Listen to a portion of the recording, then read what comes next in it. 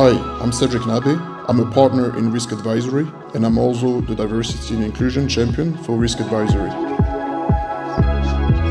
I appreciate the diversity of backgrounds that we have, the different cultures, and I think that when you mix all these ingredients together, that makes up for the perfect cake.